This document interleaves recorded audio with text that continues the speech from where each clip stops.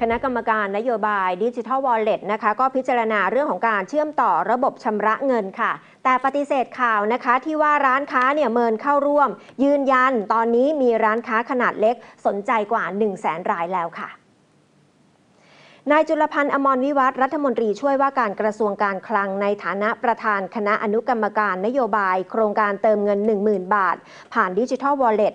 บอกว่าการประชุมคณะอนุกรรมการวันนี้มีวาระพิจารณา การเชื่อมต่อระบบธนาคาร และผู้ให้บริการชำระเงินรายอื่นนะคะ ก็คือ Open Loop เพื่อรองรับโครงการดิจิทัลวอลเล็ตหลังจากที่ก่อนหน้านี้ส่งรายละเอียดเกี่ยวกับเทคโนโลยีที่จะใช้เชื่อมต่อระบบให้ธนาคาร และผู้ให้บริการชำระเงินนำไปศึกษาแล้ว ว่าจะมีความเห็นหรือว่าข้อเสนออย่างไร ซึ่งเป็นเรื่องรายละเอียดด้านเทคนิค ขณะนี้กระทรวงการคลังและหน่วยงานที่เกี่ยวข้องพยายามเร่งรัดโครงการ ให้การใช้จ่ายเงินเป็นไปตามข้อสั่งการของนายกรัฐมนตรี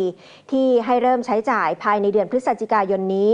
ส่วนการที่กระทรวงพาณิชย์ เลื่อนแถลงรายละเอียดร้านค้าที่จะเข้าร่วมโครงการออกไปอีกหนึ่งเดือน เพื่อรอให้ประชาชนลงทะเบียน ยืนยันตัวตนให้เรียบร้อยก่อน